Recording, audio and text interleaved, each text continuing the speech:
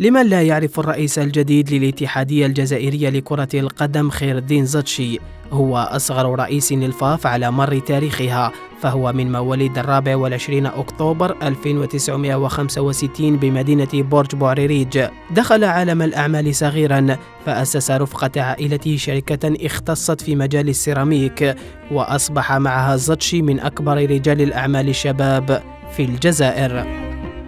حبه للرياضة وعشقه لكرة القدم تحديدا. جعله يقتحم عالم المستدير من بوابة ناد صغير هو أتلتيكو بارادو الذي أسسه زتشي بماله الخاص سنة 94 900 وألف.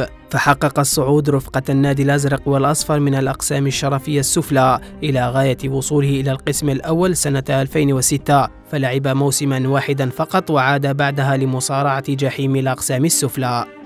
تخبط الكرة الجزائرية وتراجع نتائج المنتخب الوطني في السنوات الأولى من القرن الواحد والعشرين.